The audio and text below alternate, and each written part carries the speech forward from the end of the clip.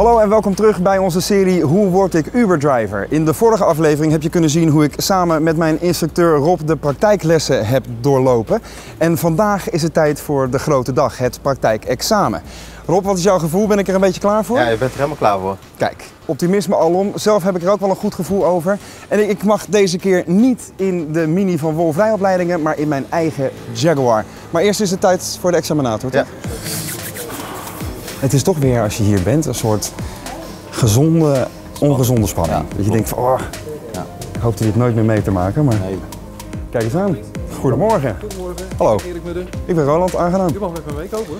Wat wij gaan doen, wij gaan eh, eigenlijk de praktijk een beetje nabootsen. Want we- het is een praktijkexamen en we proberen het zo praktisch mogelijk eh, in te vullen allemaal. hè. Ja. U gaat taxichauffeur worden. En eh, ja goed, u mag laten zien dat u het, het vak taxichauffeur eh, beheerst. Als u nou ziet dat er een band zacht is, merkt u daar wat van met het rijden? Uiteraard. Ja. En wat Ja. merk je daarvan? Nou ja, het zou sowieso is het weggedrag van de auto anders. Ja? Eh, hij reageert anders op mijn sturing Mhm, goed. En eh, als het echt zacht is, dan hoor ik en dan voel ik eh, ge- gehobbel en gebobbel. Ja. Dus dat, dat zou inderdaad, Ja. Brandstofverbruik doet het daar ook iets mee, zachte banden? uiteraard. Ook Ja. dat. Ja. Heel veel zelfs. Ja, oké.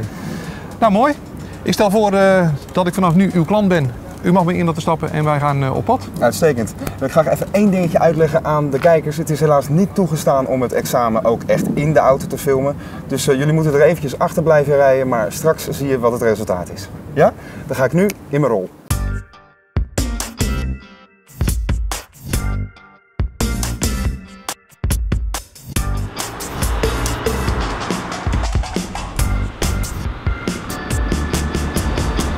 We gaan eh, twee ritten maken samen. De eerste rit eh, die is eh, naar een van de vijf bekende bestemmingen. En die heeft u geoefend, denk Ja, ik. dat klopt. daar gaan we dan naartoe. U gaat mij daar brengen en ik ga uw klant spelen. En als zodanig behandelt u mij ook hè, als, als uw klant. Nou, als we daar op die bestemming aangekomen zijn, dan gaan we de auto eventjes uit. En dan hebben we het even over... ja, wat, wat zou u nou doen als chauffeur als de auto kapot gaat, als u een probleem krijgt ermee of als u betrokken raakt bij een aanrijding of bij een ongeval, dat soort dingetjes, daar hebben we het eventjes over. En als we dat gedaan hebben, dan, eh, dan gaan we weer terug hier naartoe en dan rijdt u op mijn aanwijzingen. Misschien dat we een klein eh, omweggetje maken, dat ik u in verschillende situaties eh, kan zien rijden. Geen mooier werk dan je lo- rond te laten rijden, toch? In een Jaguar.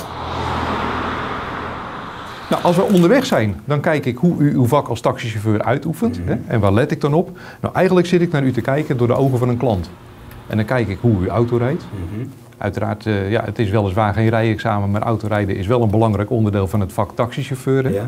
En dan kijk ik eigenlijk of u op een professionele manier aan het verkeer kunt deelnemen. Dus ik kijk of u veilig rijdt, of u comfortabel rijdt, want u rijdt uiteindelijk met mensen in de auto. Hè. Ik kijk of u een sociaal weggebruiker bent. Ik wil niet zeggen dat je iedereen voor moet laten gaan, hoor. maar als je de hele tijd met een opgestoken middelvinger zit, eh, dat ja, heb dat is ik een beetje de andere kant van het spectrum. Gelukkig, gelukkig, gelukkig. Ja. Ja. En kijk ook of u eh, op een milieubewuste manier aan het verkeer kunt, eh, kunt deelnemen. Dus de elementen van het nieuwe rijden toepassen, zoals dat, eh, zoals dat dan heet. Hè. En niet onbelangrijk, ik kijk hoe u met mij omgaat. Want we verwachten van een taxichauffeur toch wel enige klantgerichtheid. Dus ja, ik ga kijken hoe u dat eh, handen en voeten gaat geven. Of u inspeelt op mijn, eh, op mijn vragen en mijn wensen.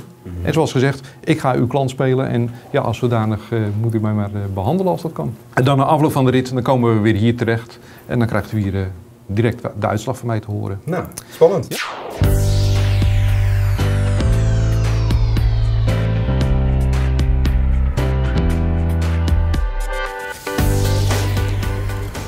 Oeh, oké.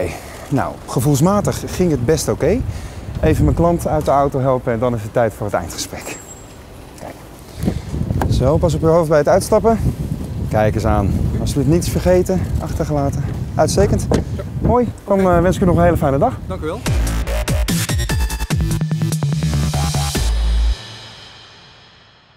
Goed, we zijn weer terug. Ik ga u feliciteren. Nou. U bent geslaagd. Van harte gefeliciteerd. Dat is fijn, dank u wel. Mooi man. Goed gedaan Rob.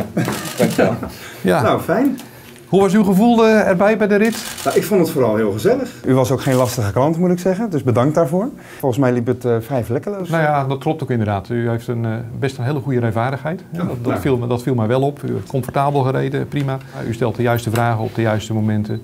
Communicatief eh, is het natuurlijk heel erg goed, eh, heel erg goed gegaan. Dus eh, ja, dat ging allemaal prima. Eerst eventjes eh, de administratie nog eventjes eh, Ja. afhandelen. Want ik heb nog een handtekening van u nodig.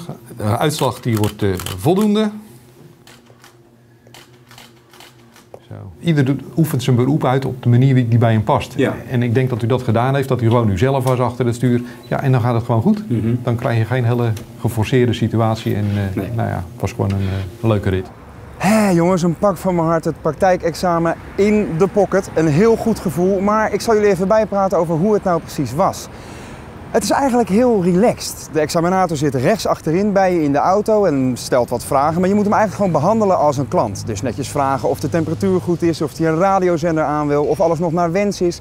En op het moment dat je netjes rijdt, rustig remt, goed het verkeer in de gaten houdt, dus zorg dat die persoon prettig aan boord zit, dan is het eigenlijk kat in het bakkie. En dat gevoel had ik vandaag ook wel. Je krijgt wat moeilijke vragen over het, ehm, eh, de handelingen die je moet doen wanneer je bijvoorbeeld de pech hebt. Eh, je moet het eh, schadeformulier goed uit je hoofd weten. Al dat soort kleine details.